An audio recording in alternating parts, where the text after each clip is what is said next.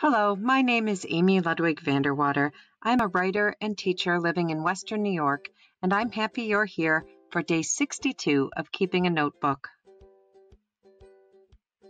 This is Betsy the Writing Camper, the place where we meet. At that little hummingbird feeder out front, there's almost always a hummingbird. Today's Keeping a Notebook writing chat is titled, If You Need Someone. Hello, writing friends. Welcome back. It is day 62 of Keeping a Notebook. Let's do our high five. I'm glad you're here.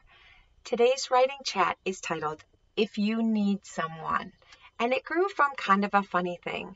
I was sitting here in Betsy the Writing Camper yesterday, and I was writing in my other notebook. I have a big notebook I've been writing in in the afternoons and evenings. And when I was writing in that notebook, all of a sudden, I just wanted to draw little teeny tiny flowers.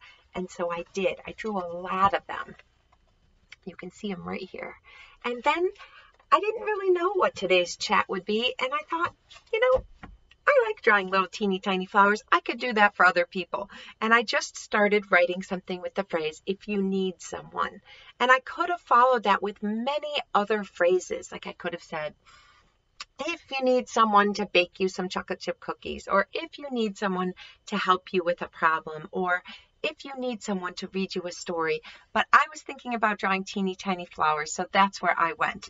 And here's what I wrote. It's Poetry Friday, so I did end up typing this up and revising it a bit, and it will be on my blog, The Poem Farm. You'll find it there.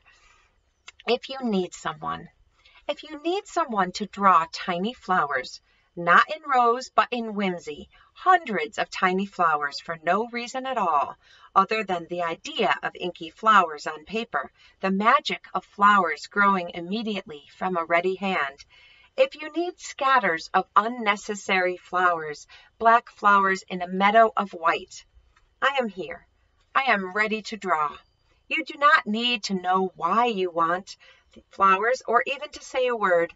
Just hold out your hand hold out your hand to my hand. Take this paper. These flowers are for you. They are growing, they are growing. They will always grow. And you can see here, this is in short line breaks. It's a free verse poem, so it's a poem that doesn't rhyme. But you'll notice there is the repetition of flowers and growing, certain words I used again and again. I did at the end add if you need someone, and I thought I could write to hold your cat while you clip its nails, or to help you eat gummy bears, or I could have to listen to you when you're having a hard day. There are many ways that we can help people, big ways, serious ways, that in silly, fun ways too. So today's writing exercise is simply beginning with if you need someone. And this could be a poem, as I wrote, or it could be the beginning of something completely different. This, of course, is in your hands as the writer. So I need you to know we're together in this. And I'm grateful for you every day when I wake up and I come out here to Betsy. I think about you. I wonder what you're writing and in a way we are connected and I am thankful to you for that. So you take real good care and I will see you very soon. Here is some flower doodling I did in a different notebook last night. The doodling gave me the idea for today's writing. This is my handwritten draft for today's poem. You can see some crossing out, just like always. Find the typed revised version of today's poem at my blog, The Poem Farm. There are many ways to be needed and many ways to write. I wish you a joyous weekend. Happy Poetry Friday.